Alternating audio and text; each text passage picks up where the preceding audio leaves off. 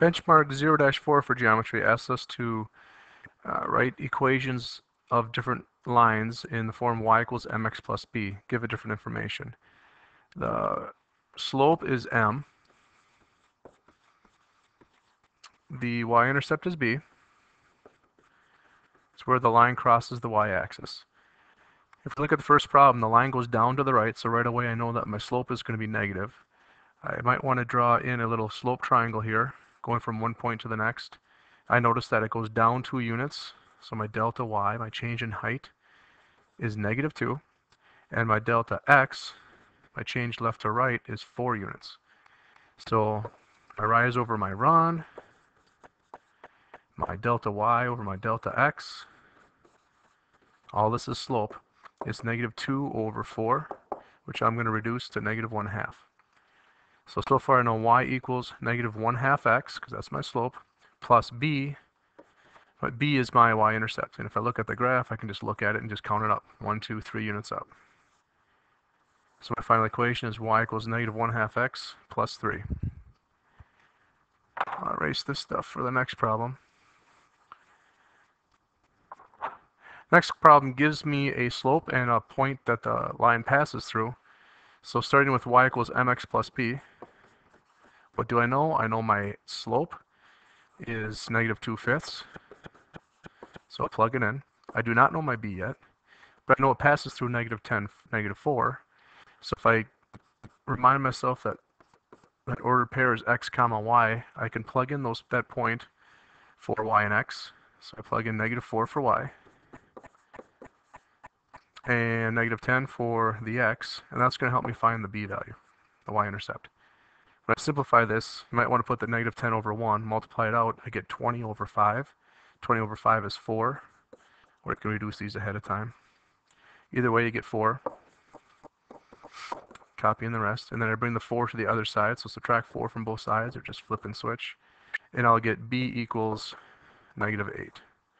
So if I take this and plug it in for my b from up above, I get y equals negative 2 fifths x minus 8 or plus negative 8. Okay. I'll erase the, this part since I crossed over the line here. I'll skip to number 4. Uh, this point, this gives me two points that the line passes through. It does not give me a slope, does not give me a y-intercept, so I need to figure those out. Uh, I could just use the graph and, and count it out that way, but we're not going to let you do that. So we're going to use this little formula, this delta y over the delta x, which is y2 minus y1 over x2 minus x1, which is basically the rise over the run. You know, subtract the y's. Put those on top and subtract the x's and put that on the bottom and reduce it. Okay. Again, I need to delete this. I don't have much space here. So if I'm going to, I'm to go right to left. Doesn't matter if you go right to left or left to right. You got to go in the same direction that you choose for top and bottom. So negative 6 minus 3 over negative 5 minus negative 2. Careful with the negative signs there.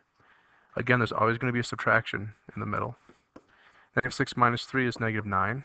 Maybe go plus negative to see that. And if I go plus plus here, I get negative 3 on the bottom. Negative 9 divided by negative 3 is positive 3, and that's my slope. So I can write y equals 3x plus b. Now I'm back at the same point I was in number 2, where I can plug in my ordered pair and for x and y and solve for b. You can pick either point now. Um, I will use, my change color here and use negative 2 is my x and 3 is my y. So I'm going to write 3 equals 3 times negative 2 plus b. Simplify this. If I add 6 to both sides, I'll get b equals 9. Take that together here. y equals 3x plus the 9 I just found. Okay, and for the last two problems here, my slope is 0, and anytime our slope is 0, you guys have to think hoy. That reminds us that when the slope is zero, that's what the zero is in the middle here, the, slope, the line is horizontal, and the equation of the line is y equals a number. Well, what's the number? We'll look over at the ordered pair. There's x and there's y.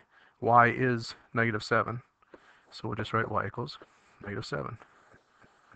There's no x in the problem. You could write y equals 0x plus negative 7, but I think if we use the hoy in the box, I think that makes it easier. B, undefined slope. Well, undefined is vox. It reminds you of this little phrase, which reminds us, oh, it's a vertical line. It's got an undefined slope.